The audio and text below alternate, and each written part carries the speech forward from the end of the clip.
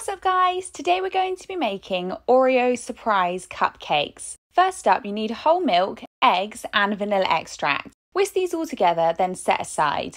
Next you need butter, caster sugar, plain flour, baking powder and salt. Whisk these all together, then add half the milk mixture and mix this in.